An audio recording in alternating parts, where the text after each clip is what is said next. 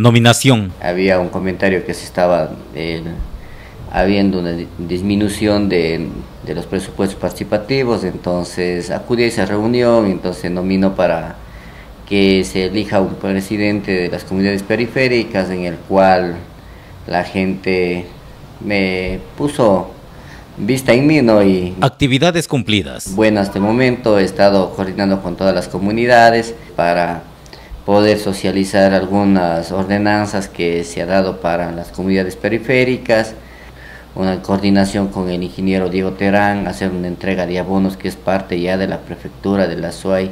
El proyecto ha estado desde el 2021, muchas de las comunidades quizás no han tenido conocimiento de, de los años anteriores. ¿no? Planificación directa con la prefecta. A un acercamiento directo con la señora prefecta. Ella nos hizo una visita justamente para el recorrido de la vía Chor, en el cual eh, no se encuentra total en su totalidad del acabado.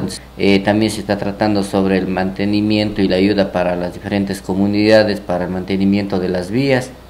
Y también eh, posteriormente el día miércoles tendremos la visita de, de la señora prefecta. Impase alcalde prefecta. Medio feo, ¿no? En ver que nuestras autoridades no tengan un acercamiento, de que trabajen cada quien por su lado. Quizás el día que tuvimos la visita hacia la prefectura de la SUAY, una, una descoordinación por el cual no teníamos algo concreto qué es lo que íbamos a hacer o a dónde íbamos a llegar. Para mí sí es algo penoso que el no poder a veces tener la, la unión de las autoridades. Presupuestos participativos. Tema que todo el tiempo aquí las comunidades han estado utilizando el presupuesto en lo que es vialidad y nunca tenían algún adelanto, alguna mejora para lo que es en, en las comunidades. Hablemos de algunas comunidades, puede hacerse algún, algún agua adelanto, potable. agua potable, lo que es el tanques biodigestores para lo que es el tema de alcantarillados, tra tratar de trabajar, entonces